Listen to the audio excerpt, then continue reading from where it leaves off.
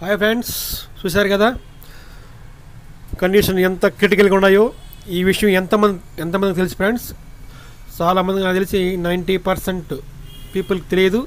కాబట్టి ఒకసారి దీన్ని మీరు మనం చదువుకున్నాం కదా?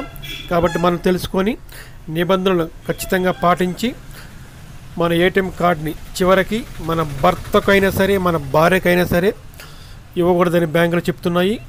ఆ విధంగా ఇచ్చి ఏదైనా పొరపాటు జరిగితే బ్యాంకులు బాధ్యత వహించమని ఇందాక స్టోరీ చెప్పింది కదా. కాబట్టి ఆ విధంగా మనం మనవంత చేద్దామని ఆశిస్తూ be good and do good and be careful thank you very much friends ఫైనల్గా I feel please subscribe my channel and share thank you very much